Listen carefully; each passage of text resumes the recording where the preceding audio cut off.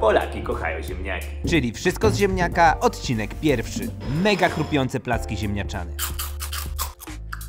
Trzemy ziemniaki na tarce o grubych oczkach. Wrzucamy do miski, zalewamy zimną wodą, płuczemy i na chwilę odstawiamy. W tym czasie trzemy cebulę na tarce o małych oczkach. Następnie wyciskamy mocno ziemniaki z wody i wrzucamy do miski. Dodajemy cebulę, ścieramy czosnek, wsypujemy mąkę, jajko i całość mieszamy. Odlewamy wodę po ziemniakach i z dna miski dodajemy skrobie do masy. Jeszcze trochę skrobi i sól. Całość mieszamy i smażymy w sumie na średnim ogniu po 4 minuty z każdej strony. Wrzucamy na papier, a po minucie nikt się nie dziwi, że